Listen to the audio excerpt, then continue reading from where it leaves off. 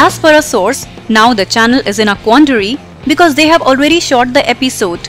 They are trying their best to convince Taher that he has not been mocked or made fun of, but if he remains adamant, they will have to go ahead without the song.